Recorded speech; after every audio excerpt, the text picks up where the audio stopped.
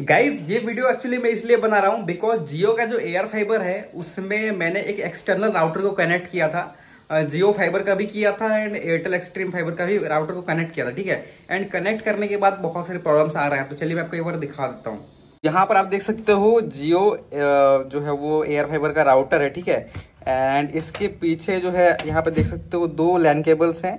एक तो मेरे पीसी के लिए है, ठीक है? पीसी लगा हुआ है यहाँ पे, उसके लिए है। एंड दूसरी जो केबल है, वो मैं एक एक्सटर्नल राउटर कनेक्ट करता था जियो फाइबर का। उसकी ये लगी हुई थी, ठीक है?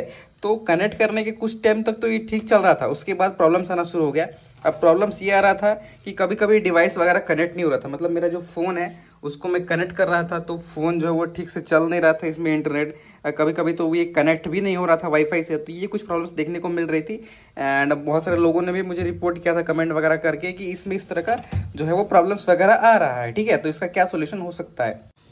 तो देखो, इसका सोल्यूशन एक ही है कि अगर आप कोई थर्ड पार्टी राउटर को कनेक्ट करते हो लाइक यहाँ पे जियो का हो गया एयरटेल का हो गया, या फिर कोई भी थर्ड पार्टी राउटर को कनेक्ट करते हो तो उसमें थोड़ा सा दिक्कत आ रहा है, ठीक है? बट आप जियो का कोई एक्सटेंडर वगैरह कनेक्ट करते हो, जैसे कि एक ढाई हज़ार रुपीज़ का आता है, एक मैक्स एक मैस एक्सटेंडर आता है, जो कि यहाँ पे दस हज़ार रुपीज़ का आता है तो उसको आप कनेक्ट करते हो तो कोई भी दिक्कत नहीं आता है। मैंने उनको भी कनेक्ट करके देखा है, ठीक है?